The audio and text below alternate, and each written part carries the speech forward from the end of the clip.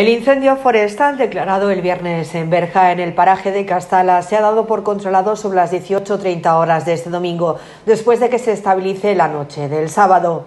Según informa el Infoca en su mensaje en Twitter, en el lugar permanecen 30 bomberos, dos técnicos de operaciones, dos agentes de medio ambiente, el subdirector del Centro Operativo Provincial y un camión autobomba.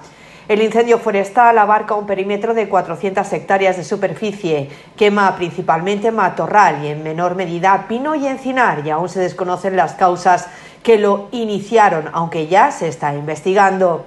La consejera de Agricultura, Ganadería, Pesca y Desarrollo Sostenible, Carmen Crespo, explicó el sábado que los trabajos para extinguir el incendio iban lentos por dos cuestiones. Primero, porque la zona es muy escarpada y los medios terrestres les cuesta acceder. Y segundo, que los medios aéreos, como está el mar bastante picado en estos momentos, el recarga del agua se está haciendo más lento.